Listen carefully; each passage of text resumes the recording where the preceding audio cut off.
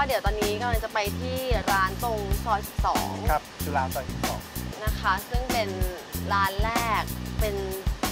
จุดให้กำเนิดละกันโชคดีติ่มซำจนถึงปัจจุบันนี้นะคะ เพราะว่าสาขาแรกได้รับความนิยมเป็นอย่างมาก ก็เลยเกิดสาขาต่อๆมาจนกลายเป็นแฟรนไชส์ในสาขาบรรทัดทอง ซึ่งเป็นสาขาแรกในการเริ่มธุรกิจโชคดีติ่มซำบรรยากาศในร้านเดิมนั้น ก็เป็นเหมือนบรรยากาศร้านอาหารทั่วๆไป ซึ่งความแตกต่างที่ทำให้โชคตีติ่มซำเป็นที่นิยมในตอนนั้นก็คือ รสชาติอาหารที่อร่อยถูกปากกับคนไทย และความสดใหม่ที่สัมผัสได้เมื่อติ่มซำแต่ละชิ้นเข้าไปในปากนั่นเองครับ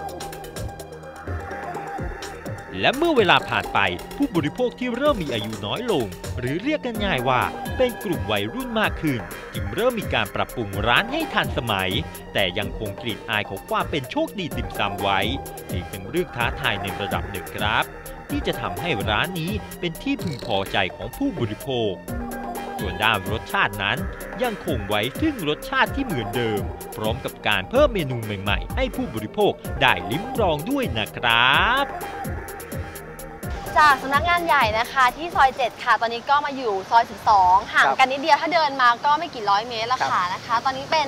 ร้านแรกของทางโชคดีติ่มซำที่บอกเอาไว้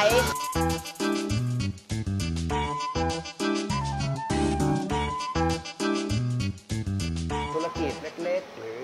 แม้แต่คนขับแท็กซี่ตุ๊กๆมากันมาทาน 30 ปีก่อนก็น่าจะรู้จักกันเฉพาะคนที่ไปเรียนนอกกลับอือฮึมาอะไรเงี้ยนะครับ อยู่ในแวดวงไม่เท่าไหร่ค่ะแต่เดี๋ยวนี้ก็แพร่หลายกลายเป็นอาหารปกติของคนไทยแล้ว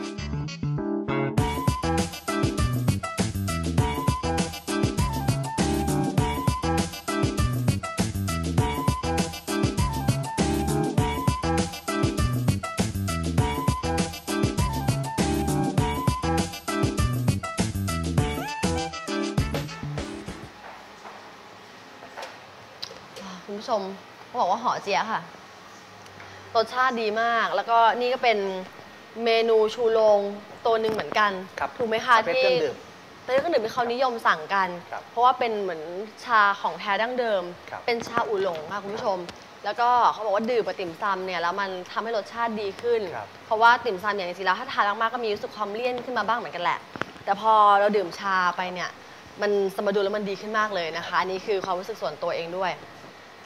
ชานี้เป็นตัวหนึ่งที่เป็นกิมมิคอีกแล้วล่ะ ของคุณธีรภพที่คิดขึ้นมาว่า ควรจะมีชาแล้วก็เป็นกังฟูชาเมื่อกี้มาโชว์ชงกันอย่างนี้ ไม่ใช่เฉพาะรายการมานะคะ ใครที่คุณมาแล้วก็สั่งชากังฟูเนี่ยเราก็ชงแบบนี้ครับ ชงแบบนี้วิธีการชงก็แปลกมากไม่เคยเห็นที่ไหนครับ ก็จะราดน้ำร้อนให้เอ่อความอุ่นของอุณหภูมิของดินเผานี่มันพอดีกันนะครับค่ะครับให้มันพอดีกันแล้วก็ค่อยมาเสิร์ฟให้กับแล้ลูวกก็ค้าเป็นได้ถ้ดื่วยมที่เรียกว่าถ้วยดมดื่มนะครับถ้วยดมดื่ครัมถ้วยนี้ก็สำหรับดม อ๋อเมื่อกี้เขาครอบกันอยู่อย่างนี้คุณผู้ชมอย่างนี้นะนะแล้วก็พอพอเสิร์ฟเสร็จก็เอาอันนี้มาดมก่อนครับ คุณธีรภพบอกนะว่า แห้งอีกกลิ่นหนึ่งอะถ้าแห้งแล้วจะอีกกลิ่นเออถามถึงส่วนร้านก่อนดีกว่า ร้านนี้เป็นร้านแรกนะคะ แล้วก็บอกเราว่าแนนเนี่ยเคยมาตั้งแต่สมัยมัธยมปลายแล้วล่ะ ก็เกือบเกือบสิบปีนะอายุก็รู้หมดแล้วนะคะ ก็มาที่นี่เมื่อก่อนโต๊ะจะถี่ๆมาก แล้วก็จะมีแบบดูดูเจียวจ้าวดูแบบว่าไม่ใช่ที่คนนะคะหมายความว่าเขารู้สึกมันเหมือนแค่ร้านอาหารร้านเล็ก ๆ ร้านหนึงอะตอนนั้นเขารู้สึกแบบนั้นจริง ๆ แต่ว่ามันให้ความรู้สึกแบบเป็นกันเองอบอุ่นเหมือนด้านนี้แหละ แต่ว่าตอนนี้คือดู modernแล้วก็ทันสมัยขึ้น เรามีการรีโนเวทมานานหรือยังคะก็ สัก 3-4 ปีแล้วนะครับ 3-4 ปีสามแล้วสิบปีที่ผ่านมานะคะ ก็กลายเป็นแบบนี้คุณผู้ชมดูนะ บรรยากาศร้าน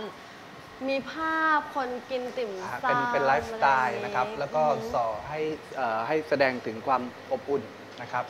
นะครับ ความอบอุ่นแล้วก็น่าทานก็เ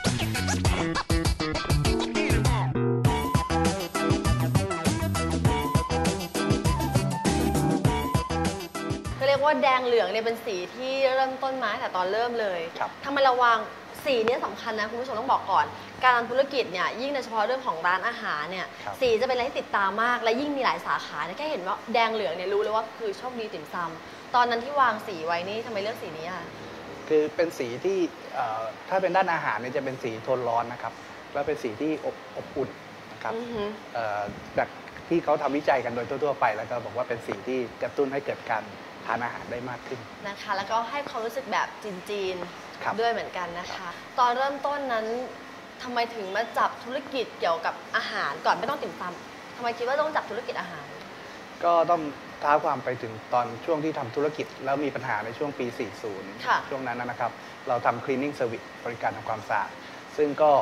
เนื่องจากเศรษฐกิจมีปัญหา แล้วก็จะกระทบเป็นคลื่นลูกสุดท้ายเลยนะครับ เพราะเนื่องจากผู้ใช้บริการไม่ว่าห้างสรรพสินค้าหรือ ตึกออฟฟิศก็ลดค่าใช้จ่าย หรือว่ามีปัญหาเรื่องของ payment ต่างๆเนี่ยนะครับแล้วก็ค่ะกระเทือนไปถึงธุรกิจบริการ ซึ่งเขาก็จะตัดตัดตัดตัดออกในช่วงนั้นครับแม้จะเกิดวิกฤตด้านเศรษฐกิจจนทำให้ต้องปิดกิจการที่ทำอยู่นั้น แต่ CEO ของเราก็ไม่ย่อท้อในการเริ่มต้นธุรกิจใหม่ แต่ทำไมถึงมาลงตัวที่ธุรกิจอาหาร มีวิธีการอย่างไร ไปรับชมกันต่อเลยครับอืมเราก็เลยคิดว่าเอ่อเปลี่ยนแนวธุรกิจนะครับ เปลี่ยนแนวธุรกิจก็นึกว่าเรื่องของอาหารการกินนะก็เป็นส่วนหนึ่งที่เอ่อน่าจะมองดู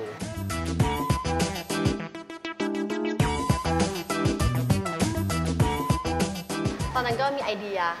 อยากจะทำแฟรนไชส์ครับก็เริ่มมาจากที่เอ่อคืออย่างนี้ฮะตอนที่เราทำธุรกิจครั้งแรกเลยที่ค่ะที่ร้านเนี่ยนะครับคือตอนนั้นต้องการที่จะเลี้ยงครอบครัวนะครับต้องการให้เลี้ยงครอบครัวให้ได้แค่ร้านร้านนี้ครับ ก็คิดว่าไม่ไม่ได้คิดถึงการไกลมากนักนะครับ แต่เราก็ทำติ่มซำเราด้วยความความรักว่าเอ่อทำให้อร่อยทำเลือกคัดเลือกสินค้าเอ่อวัตถุดิบที่ดีที่สุดค่ะเพื่อลูกค้าของเรานะครับ แล้วก็ขายดีขึ้นเรื่อยๆนะครับ จนเอ่อลูกค้ามากขึ้นมากขึ้นจะมีคนถามถึงเรื่องของการขายส่งให้เขาได้ไหมอะไรอ่านะฮะแล้วก็คิดว่ากำลังการผลิตเราก็เออมันโอกาสขยายได้นะครับอืมแล้วก็ผลิตส่งให้เขา ก็สองสำลายนะฮะ แล้วปรากฏว่าเขาซื้อไปขาย ตอนแรกก็ไปก็ขายดี อยู่ๆก็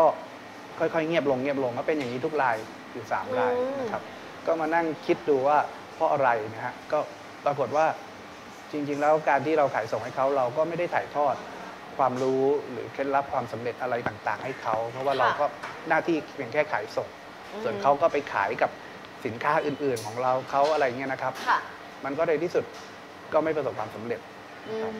จึงคิดว่าทำยังไงถึงจะอ่าให้ให้มันไปได้นะครับ ก็เลยคิดถึงระบบแฟรนไชส์ขึ้นมา